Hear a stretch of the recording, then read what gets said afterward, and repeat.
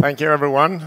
Um, time will kill us all in the end. Uh, and the little time that we have here on Earth, we spend writing data pipelines. Uh, one of my favorite things to do the, in a professional aspect is to come here to this conference uh, because it's such a technical audience. You can really geek in on something and, and go deep. And uh, this year, I've chosen to geek in on the troubles that time might cause and how to deal with them. So at some point, I saw a couple of slides or a couple of graphs that looked like this. These graphs tend to freak people out, in particular if you're at the dip and somebody had launched a campaign or launched in a new country or something. I've also seen a graph that looks like this. There's a mysterious dip, like at midnight every day. Doesn't seem to match what we expect. Or this, a mysterious bump in the middle of the night. Wonder what that, what that might be. Or this one, uh, only premium users are supposed to access premium services, but apparently some free users do that, but then they stop at midnight, and then they start again. That's weird. These are examples of things that uh, do not really match what the users did, but are caused by our mismanagement of, of time in data processing pipelines. So I will mention a bunch of issues that I've seen, a bunch of anti-patterns where we have dealt with things badly, and a couple of patterns that I have come to conclude to, uh, to uh, use in order to mitigate the problems. These are quite, I'm quite opinionated in my patterns, so take it with a grain of salt. Uh, my hope is that you will become more aware of the issues that might uh, occur, and that I will share some of the tools that I have in my toolbox. First, looking at uh, what, from a time perspective, what different types of data we have. We have facts. These are either events that happened or like observations, measurements out in the wild. Uh, these have a timestamp. They happen at a particular time, and uh, they come in a, like a continuous stream. We don't really control the time. Something else does. We also have state that we have in our system, and uh, we have uh, usually dumped to a data lake. I'll explain why later. Uh, and these are typically dumped at, at like regular intervals, uh, daily or hourly or something. And then we have claims, which is a statement about something that ha has happened previously. Uh, I'll give a couple of examples uh, in a while. And these claims always have a, windows, a time window scope, like they are claims about a particular time period. These events and state dumps and, and uh, claims have different time scopes. It's more mostly complicated for, for events. You have the event time, the time at which the event occurred. And then you have some registration time when you see the event coming into your backend systems where you can trust the clocks. And then you have the ingestion time, where, which is when you put it into your data lake for, for eternal preservation. Uh, in a single DC environment, the registration and ingest is usually the same time. In a multi-DC environment, you might have a propagation delay. And then later, we process the data, so we have a processing time as well. For, for state, we only have the ingest time. And then for claims, we have the, what I call the domain time, the time scope which the claim refers to. For example, these were the users that we thought were fraudulent during this particular time window. We use clocks to measure time they don't actually really tell us what time it is. They tell us how much time has elapsed. Uh, and, but in order to deal with them, we first tell them what time it is, and then we get a, a new measurement back. We have clocks that are high quality, usually our backend stuff. Clocks that are of low quality, like in IoT devices, mobile devices, and so forth. We also have wrong clocks, which is when we look at the different time scope than the one we actually care about. Sometimes this is okay. We use the wrong time scope as a proxy. Um, and some clocks we control. Some clocks uh, we can trust in their value, uh, evaluation, their measurement of time, but we don't really control the, how they are set in terms of time zones and so forth. Clock time maps to calendars, which is a, like a more of a human invention uh, that maps to, to the, the, astronomical and social domains. And if I were to ask my son how uh, the definition of a calendar, this is what he might come up with. This is also what a computer comes up with if you, if you ask it naively. Now, reality is more difficult. In a naive calendar, you might think that these properties hold. Like a day has a certain number of seconds. If you go uh, 45 years in the future, you end up in what year you're at, plus 45. Uh, if you st start at the beginning of the year and you go 30, 364 days forward, you think you might end up in December. Uh, if you go 60 minutes forward, you might end up in the next hour, you'd think. Uh, and if you shift time zone, you would perhaps think that you at most shift a day and that the number of minutes is preserved. And if you're at December 29th, you might think that the next day is December 30th, or that January or February has like 28 or 29 days. Now I'm going to test you. How, obviously, since I put them up, these are at some point in time wrong. How many people can find at least one counterexample for these things? That's low. Uh, how many people can find at least two? Keep your hands up. At least three. At least four. at least five. Six. Oh, there it dropped. it's not so easy. I had to Google a bit on this one. The first one is the leap seconds. Second one is year zero. After year minus one comes year plus one in historical time counting. There's an astronomical, just to confuse things, where there is a, uh, a year zero. Uh, there was a switch between Julian and Gregorian calendars. Uh, when, you might ask? Well, it stretched over 300 years in different countries, and it stretched all the way into the 20th century. Daylight savings time you're familiar with. Time zones are not, uh, not really on a full hour, and they span more than uh, 24 hours. Some countries jump back and forth between uh, on the date line, so they sometimes skip a day. And I proudly present the only country to have had the 30th of February. This was as part of the confusion in the Gregorian, uh, Julian Gregorian calendar switch. Fortunately, you don't have to know most of these things. They rarely come up unless you're dealing with historical data. Leap seconds might come up. It took down a couple of, of big sites a few years ago. Uh, for data processing, it's probably not a huge deal. You might have to prepare that the, that the timestamps might have the second number 60. Rather than that, you should, are probably fine. If you're in Google, they smear the leap seconds out, very elegant solution. I don't know what the other cloud providers do. Daylight savings time, on the other hand, that for sure will bite you. Um, and it even kills people. Are you aware? that the, in spring, when you lose an hour, there's an elevated number of heart attacks. And uh, there's a lower number of heart attacks in autumn, but they don't add up. So daylight savings time kill people. And of course, daylight savings time is the uh, uh, explanation for this kind of graph, where suddenly the hour, the, the day has like 24 hours, and there's a corresponding dip in the autumn. Now, how might this affect technical systems? This is a scenario we had uh, recently. This is a uh, typical ingestion pattern called the loading dock. You have a legacy system. It pushes data on a regular basis, in this case hourly, to a, a neutral ground, a file system, or a Google Cloud bucket uh, in this case. And the ingestion mechanism pulls it in and copies it to the data lake. Usually, the legacy systems are more difficult to change, so you adapt to whatever conventions they have and just accept them. In this case, uh, by the way, I included some uh, Luigi uh, workflow code because uh, I've, um, I've seen people stumble with these types of patterns. So here's an example. You can get slides later if you want.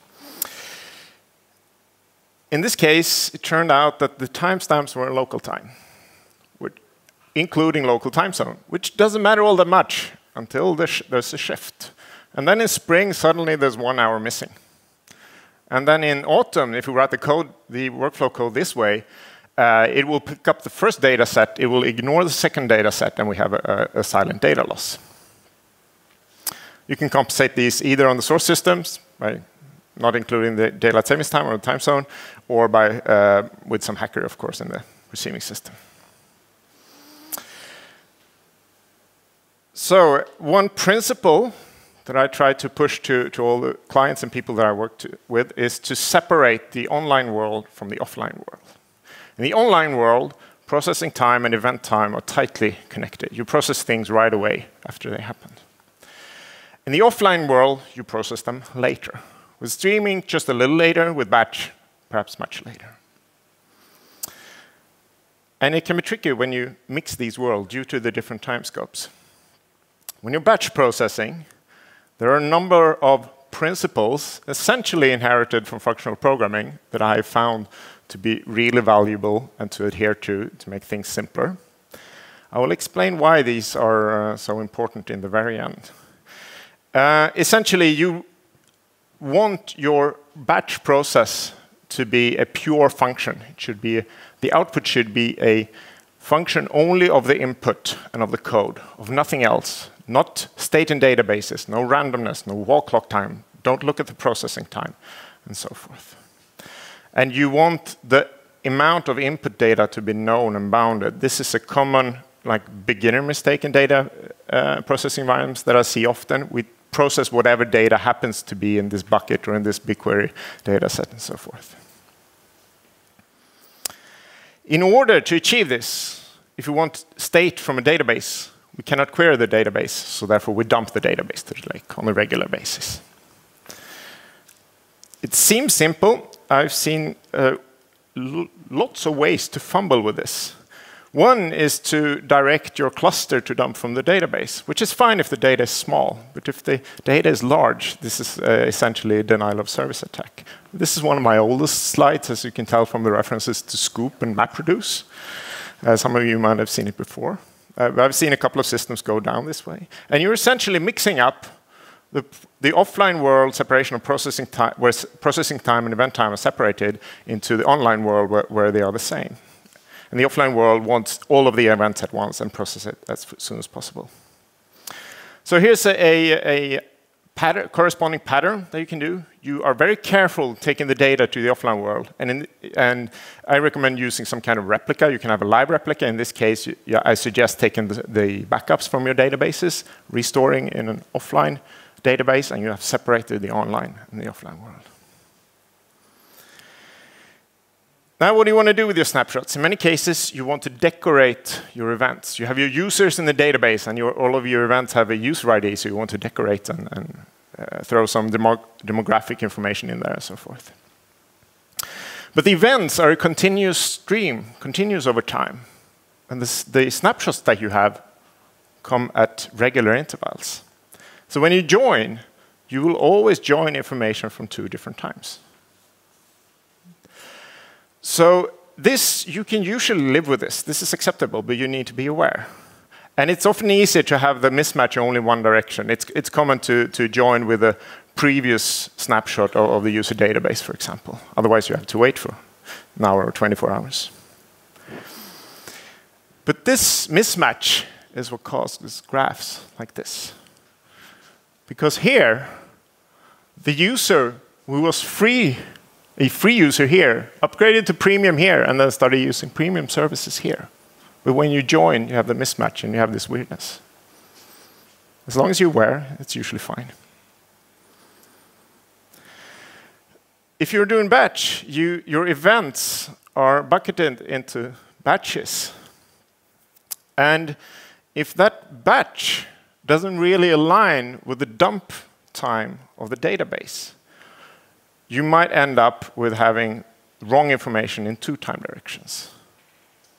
Usually okay, but if you care about being, the data being wrong in only one direction, you might want to shift this window. On a couple of occasions, I've tried to understand a complex system where, and the different um, different situations with, with, with, how we bucket and where the data is copied from and, and, yada yada. And perhaps we can align to make the error smaller. And the result has always been, no, because of some reason we're screwed anyway. We just live with the, with the information loss. You can avoid this by adopting a paradigm called event sourcing, where you say that the, the state in databases is not the truth. The only truth out there is the history of events that has happened.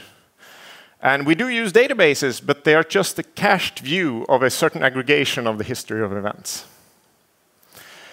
Now, if you only look at, if you join now, you can choose to play as many events as you want to, to, to match the time where you want to join so that you don't have these mismatches anymore. Unfortunately, this makes your code significantly more, significantly more complex. You can no longer just look up in, in a table and do, and do, a plain join. At this point, any streaming fans might say, well, this, these are problems specific to batch, right? If we stream, we can update a table all the time and join with that table. So, great, we have one stream with a, with a user event here perhaps, and we have some other stream with, with a service uh, event, so playing of the films or whatever. So we just update this table in the middle and join with that, whatever state is in that table. And this will give you the right data under the naive assumption that these streams are in sync.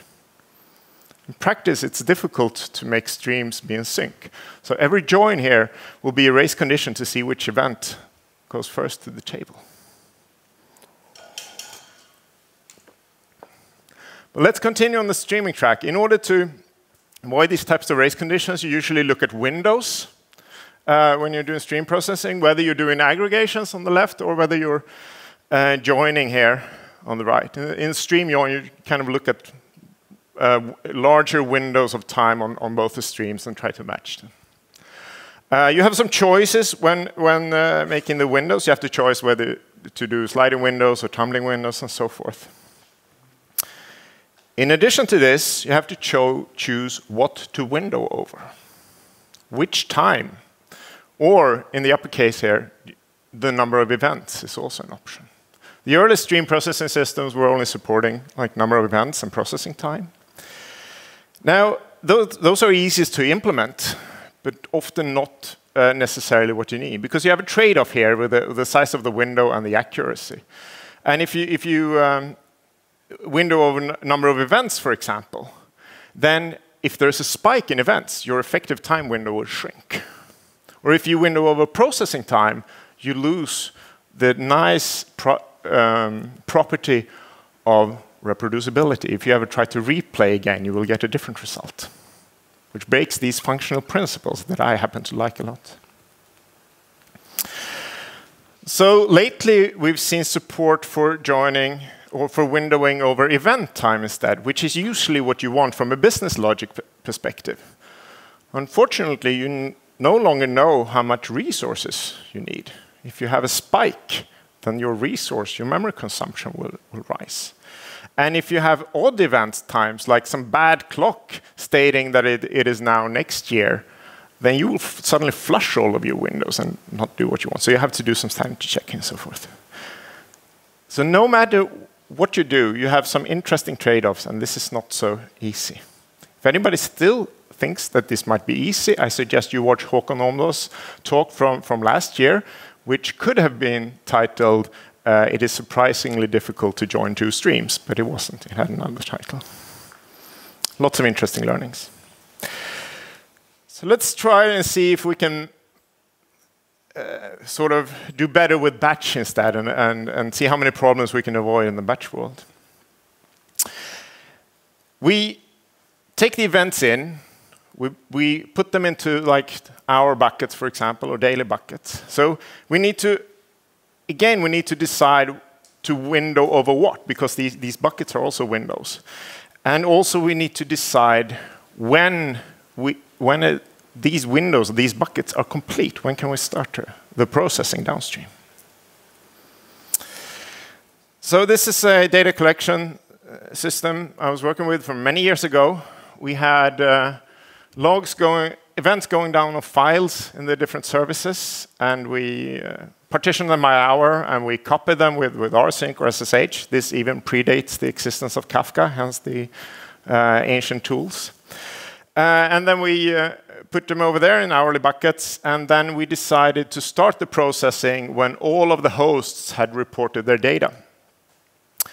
Now, as the number of hosts grew, this got more and more fragile, and we were processing later and later and later.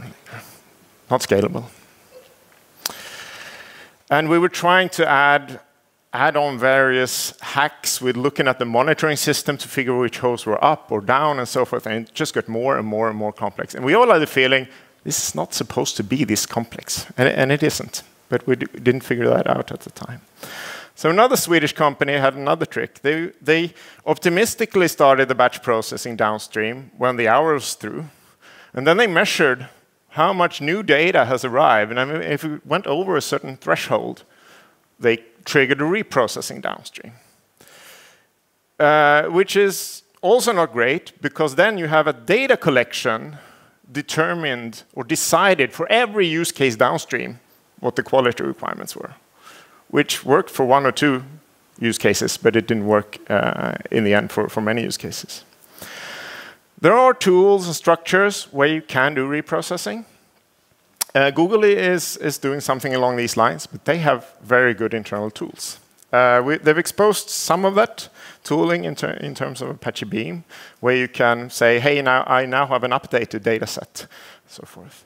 Um, the, I have so far uh, not used or deselected those tools uh, because it turns your batch processing operationally into a stream. And, and batch is much easier from an operational perspective. So I try, try to stay with batch as much, much as I can.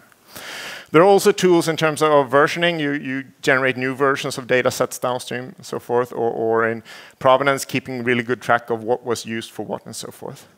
Uh, I, again, try to avoid those tools uh, because I feel that the, with the tooling that exists today, the, the cure is worse than, worse than the disease, and I think there are simpler patterns. So uh, here's what I try to do these days. We have some different times, scopes that we can choose to bucket from, and just choose the closest one, the ingestion time. Because if you do that, it's a local clock in the system closest to the data lake. And that means that you can close and seal the data sets very quickly after the, the hour is through. So you can start processing at that point. So you don't have these situations where we're waiting for more data before processing. Unfortunately, if you're doing analytics, it leads to graphs like the upper one. And then, per use case, you decide if that dip comes, what do you want? Do you want to see the dip with the data that you have, or do you want to wait until you have better data. You can decide whether you have better or not based on the event time. This should be a decision per use case. And in, the, in a dashboard, we might want both, but, but for machinery downstream, we have to make a choice. And this is what it might look like. Luigi code to the left, Spark code on the right. We, if we want to wait and get better data, we delay the processing with n number of hours. And then in the, in the Spark code, we just, uh, we just take all of the wider window, shuffle, and spit out the, the hour that we're actually interested. But since we waited for a while, we have some more, better data. What if we're wrong? We might be wrong. And that's okay as long as we know how wrong we are. So we count whenever our assumptions fail then and the data goes, uh, the event time falls out of the window that we're looking at. We count that as a count. So after the fact, if we have a report, we might know whether it was a good report or not. And if it wasn't, we can increase the delay hour. And we compute different delay hours for, to cater for all the use cases that we have. So we usually do a fast one without delay. Delay hours equals zero uh, and then some more. And for the for the really for the cases where uh, quality is really important, like financial reporting and so forth, we wait for a really long time.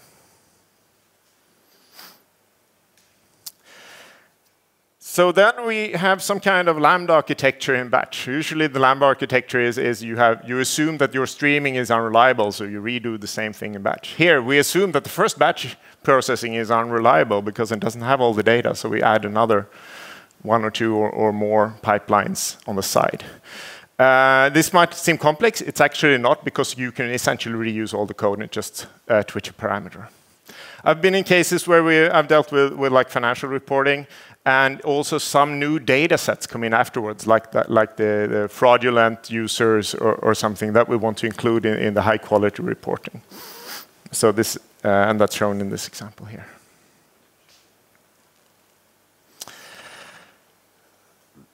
So those fraudulent users are examples of data that is delayed not by machinery but by humans.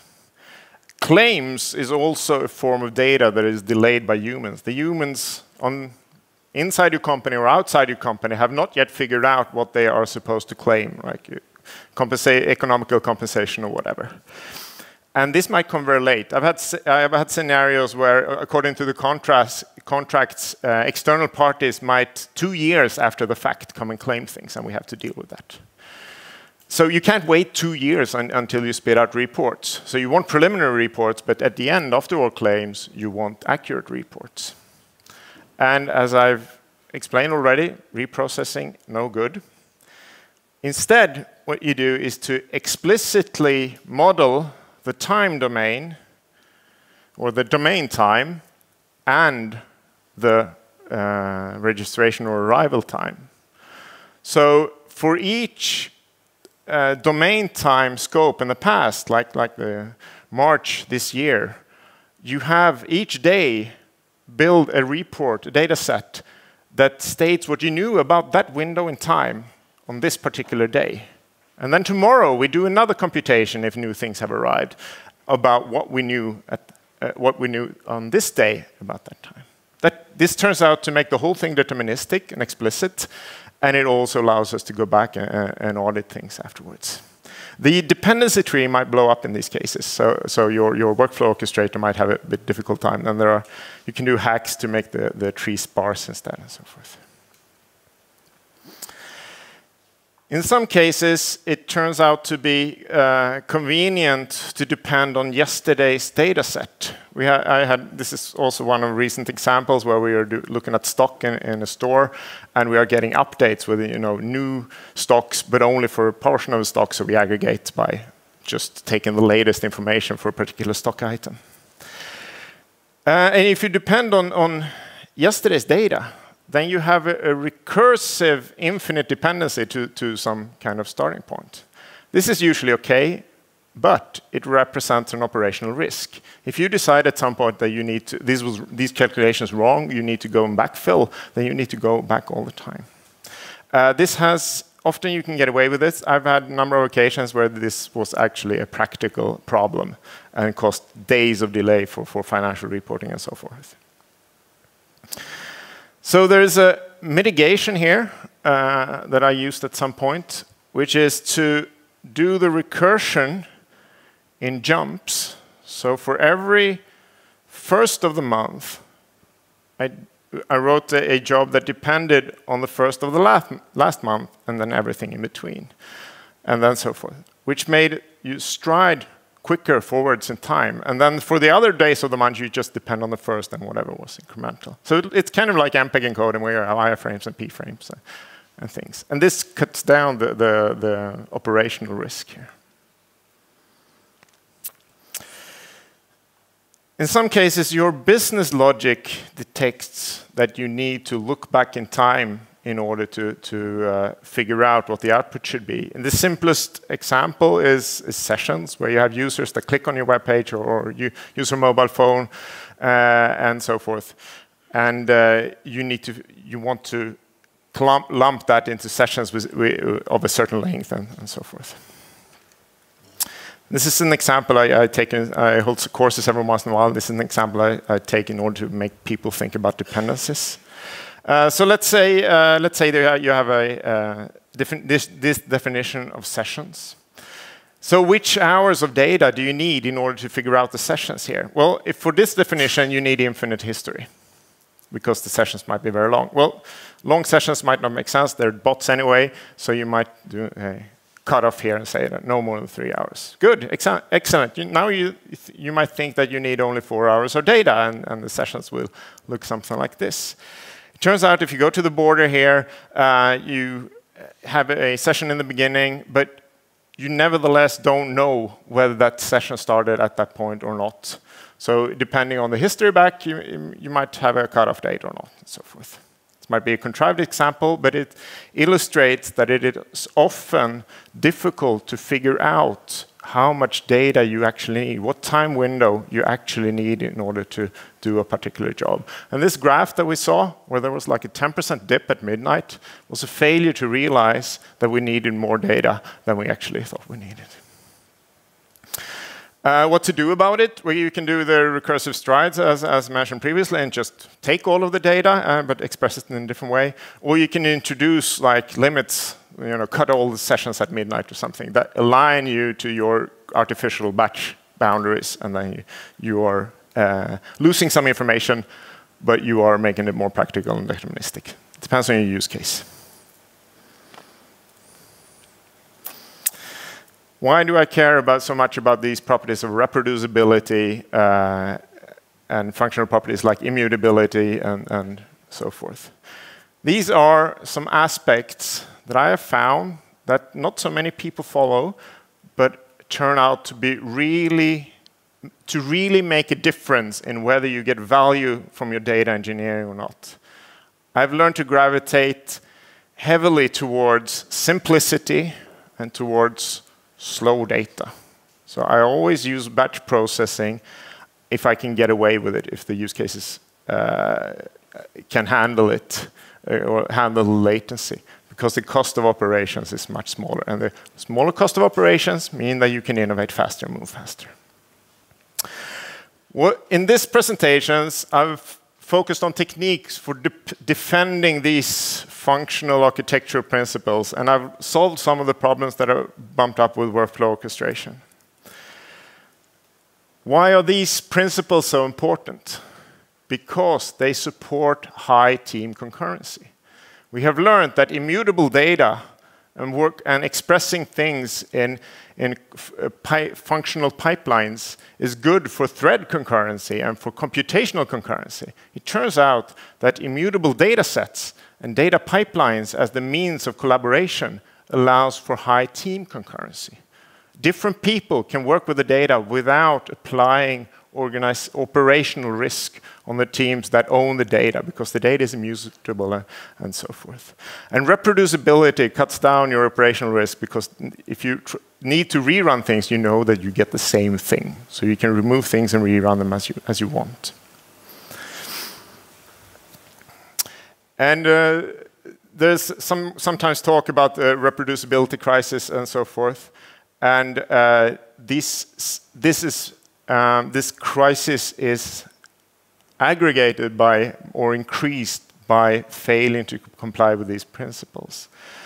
Um, in order to do machine learning on a repeatable uh, in order to get lots of value from machine learning in your products, you need to be able to run many experiments. And if you run experiments and they are not reproducible, then you don't know whether your change made a difference or whether it was different data or just some, some the face of the moon or something that affected Uh, the results.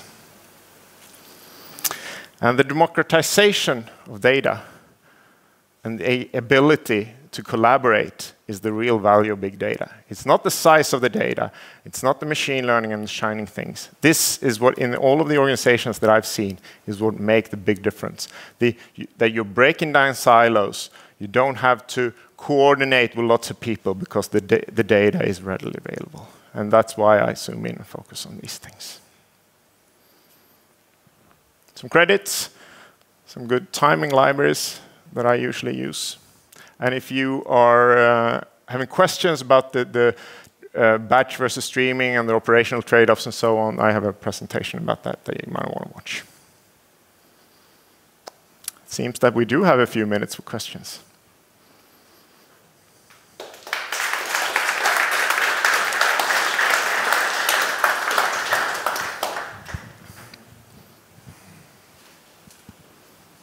Who has got some questions? Please put your hand up, otherwise I cannot see you. No? Come on, it was a really exciting talk. So.